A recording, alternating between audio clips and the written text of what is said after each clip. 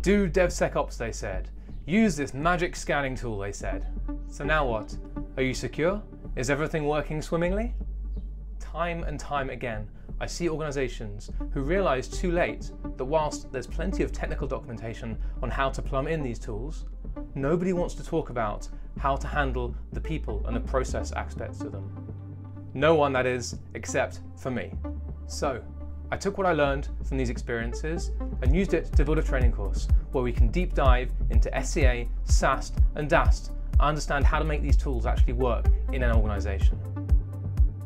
Aside from the deep dives into the tools, the course also includes working templates that I've developed to help you understand how you're going to use the tools, as well as practical exercises in groups where you apply what you've learnt in lectures to a simulated organisation and also practice reviewing, triaging and prioritising some findings. I've now run this course multiple times at different conferences. Each time, people have found the course material really useful and they've loved the group exercises where they can work together and knowledge share and benefit from everyone's experience. Here are some samples from the course feedback forms that I've handed out. Group exercises were awesome, everybody was involved. This compensated for each other's knowledge gaps and allowed us to share experience and approaches.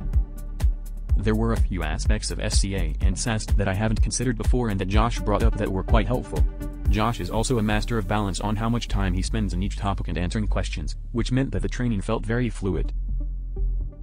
The course at Black Hat USA this summer in Las Vegas is going to be bigger and better than ever, and I'd really love to see you there. You can find more information and you can also sign up using these links. And feel free to get in touch with me directly if you have questions or want to know more about the course. So join me at building a high value AppSec scanning program so we can find value, not just vulnerabilities.